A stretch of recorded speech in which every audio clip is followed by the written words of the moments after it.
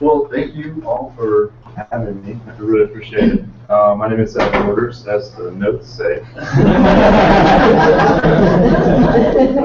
now, uh, a preface that a, a, big chunk of this presentation is uh, my demo day presentation that I gave. Um, and Civic Artworks was accepted as one of the Impact Engine companies uh, this past year. For those that aren't familiar with Impact Engine, it's one of the currently, there's more on the way, uh, currently one of the two accelerator programs here at 1871, uh, Techstars being the other. But Impact Engine um, is focused on businesses that have uh, societal impact, positive societal impact as a part of what they do day to day. It's not tack on being good to the world, it's a part of what we do to make money. Um, and a plug for them, uh, tomorrow night here at 1871 in the auditorium is um, a big event for the unveiling and opening of the third uh, cohort's uh, applications, which I think open up the next day on Thursday. So they'll be accepting eight to 10 more companies to come and uh, hang out here and jam at 1871, doing good for the world. Uh, managing director of that was uh, Chuck Templeton of uh, Open Table, all those fun companies. Uh, touch of gold, um, but it's transitioning to uh, just VA, um, and taking the day to. So anyway, go tomorrow and learn about that. Um, so who we are, um, and I'll skip over some of this because I think most of the people in the room drank the Kool-Aid that we're drinking um, at our demo day. Um, those in the audience um, are of a different sort and needed some convincing, let's say. Um, but we've been around for a couple years. Uh, we started in mid-2012. Um, my background is in architecture and urban planning. Uh, I went to the University of Illinois down in Champaign for several years.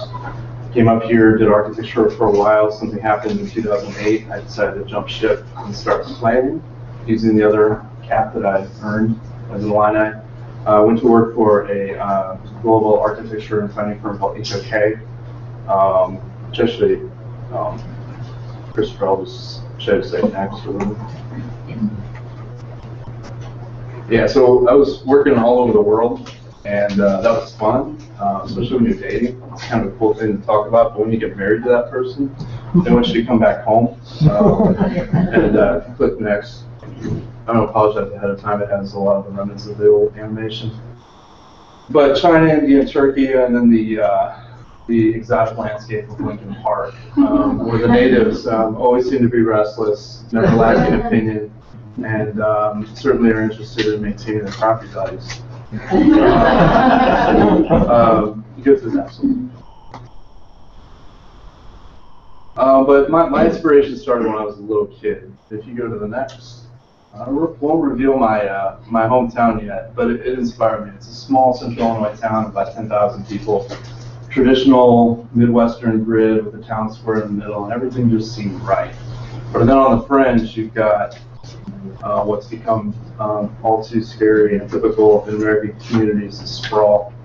And um, I myself, a little bit more background myself, I served as a national board member for the Congress for the New Urbanism Operators.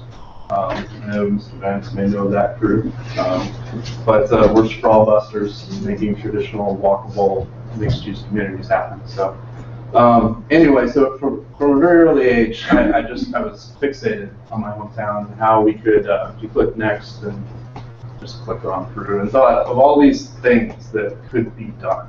Um, at that point in time, I didn't have a degree, I didn't have any sort of professional license, I didn't have anything, I didn't have any money. Um, I mean, I made friends out of toilet paper rolls and Kleenex boxes. um, so I didn't have any clout. And you know this is the part where you're already drinking Kool-Aid, is that I, have just been fixated not only on my hometown but on ways in which ordinary people can get involved and play a part